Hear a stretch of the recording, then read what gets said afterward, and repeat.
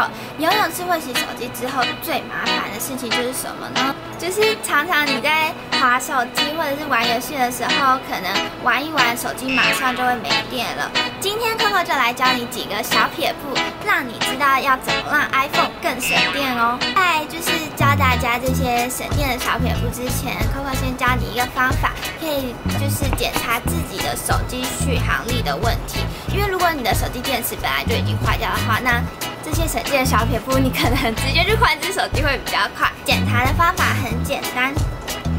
就是你在你的设定，然后一般你找到一个用量。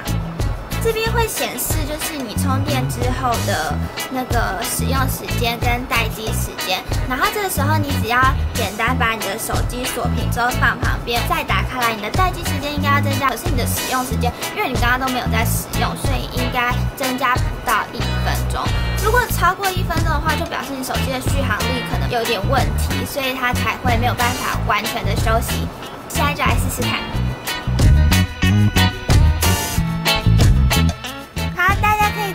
就是我们已经就是等了六分钟之后，我们原本的截图是待机时间十八分钟，然后已使用是四分钟。经过六分钟的静置，我们刚刚放在旁边没有理它，然后增加待机时间增加六分钟，然后使用时间变增加一分钟，这样子你的手机就是正常的。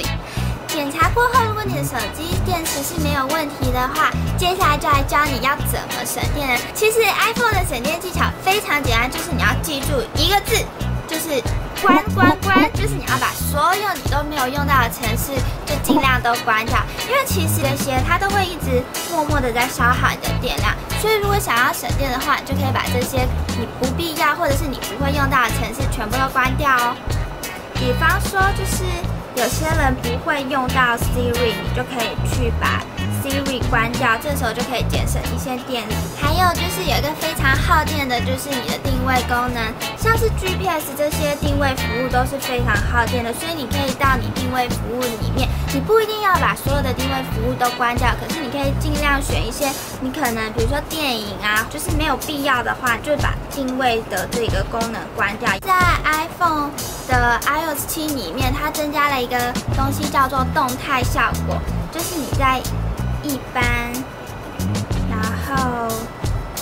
辅助使用这边，你会看到有一个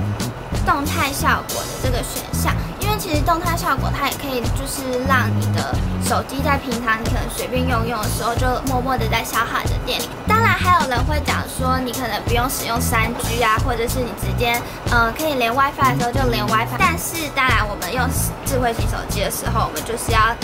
来上网用的，不可能把它所有的功能都关掉。所以最重要的呢，就是记得要尽量把不必要的程式全部都关掉，以及那些看起来很 fancy 的或者是很 fashion 的一些辅助应用功能都把它关掉，这样子你的手机就会比较省电哦。还有再来就是，其实 iPhone 里面有一个超级耗电元凶是什么呢？当然。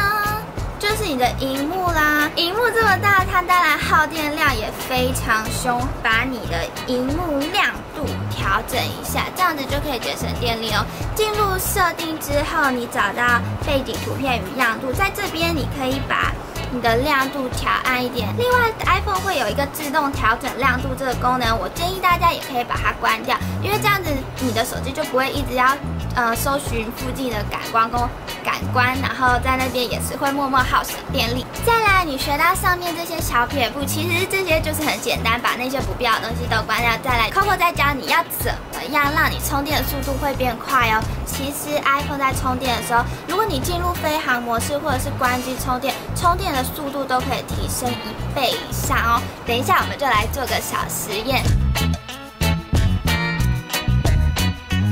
我们现在就来做充电速度的小实验哦。大家可以看到现在是六点三十一分，然后是六十二趴。我们现在来充电五分钟，看它最后会变充电几趴呢？当然，五分钟过去了，现在六点三十六分，然后增加了，现在是六十六趴。现在我们进入飞航模式了，然后是三十七分，从六十六趴开始充电，然后五分钟四十一分，四十二分的时候我们再划开